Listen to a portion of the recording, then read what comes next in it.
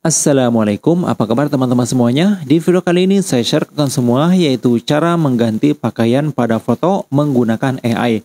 Contoh foto sebelumnya ini menggunakan kaos ya, dan setelah diganti berubah menjadi setelan jas.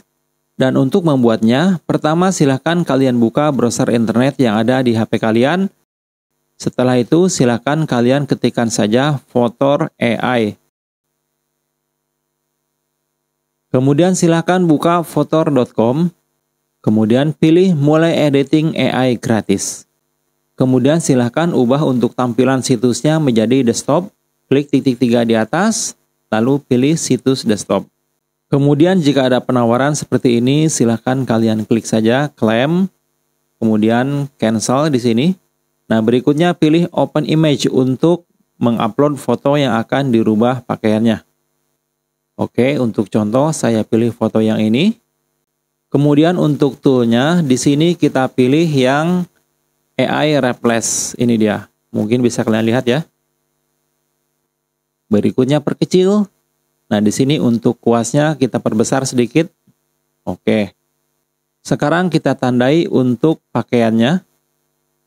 Nah, di sini untuk baju dan juga celana kita tandai caranya dengan menekan seperti ini. Nah, kalau dalam tampilan situs desktop, di sini tidak bisa kita langsung gerakan ya, tapi hanya bisa kita sentuh saja seperti ini. Oke, untuk pakaian sudah saya tandai semua, berikut lengannya ya. Karena kita akan menggunakan jas, maka tentu saja harus yang panjang. Jika sudah, kemudian pada kolom ini kita harus isi untuk kata perintahnya. Di sini sebaiknya menggunakan bahasa Inggris ya. Buka saja terjemah, lalu masukkan di sini kalimatnya jas hitam dengan dasi putih. Kita ambil terjemah bahasa Inggrisnya. Setelah itu kita tempelkan di sini. Oke. Jika sudah lalu klik generate. Tunggu hingga prosesnya selesai. Oke, dan ini dia untuk hasilnya. Wah, mantap sekali ya. Yang tadinya kaos menjadi setelan jas. Keren. Kemudian untuk menurutnya, di bagian atas ini ada untuk tombol downloadnya ya. Tapi misalnya kalian diharuskan untuk membayar, maka solusi terbaik untuk mengambil foto ini adalah dengan screenshot.